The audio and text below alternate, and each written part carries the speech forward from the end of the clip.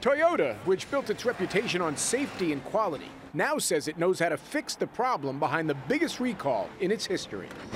The automaker will redesign accelerator pedals in 4 million Toyotas and Lexuses, including the Camry, America's top selling car, 436,000 sold in 2008, and the Prius, the best selling hybrid. The trouble is, in Toyota vehicles like this 2009 Tacoma pickup truck, the gas pedal can get tangled up in the floor mat causing the vehicle to speed up. Even if the driver pumps the brakes, it's not enough to stop.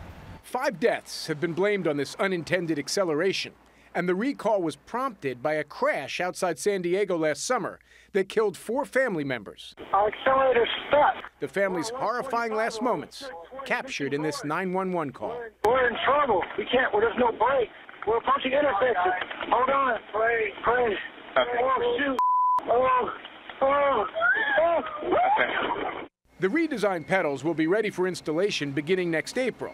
In the meantime, Toyota will recall the cars and shorten the accelerator three quarters of an inch, perhaps as early as January, so the mat can slide under it without trapping it.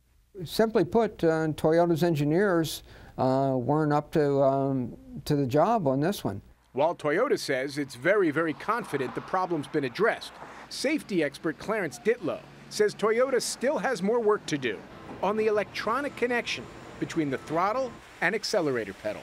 Some of this is clearly due to the electronic controls in the vehicle. In fact, Toyota is doing more work, planning to install a system sometime next year so that if the brake and gas pedals are pushed at the same time, the brake wins. Jim Axelrod, CBS News, New York.